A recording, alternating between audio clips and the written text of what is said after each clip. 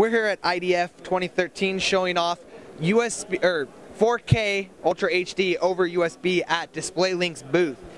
Keep in mind this is A0 silicon, which is basically just a proof of concept showing what is possible. USB 3 will get you up to in the neighborhood of 120 megabytes a second uh, in real world, and you can see, I mean, there's a little bit of latency introduced in it, but overall it's absolutely incredible. But it gets better. Not only can they do this over USB 3, they can do it over USB 2.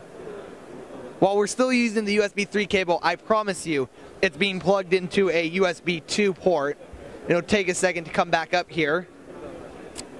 But this is absolutely incredible because a USB 2 port only gives you 20 to 30 megabytes a second of bandwidth.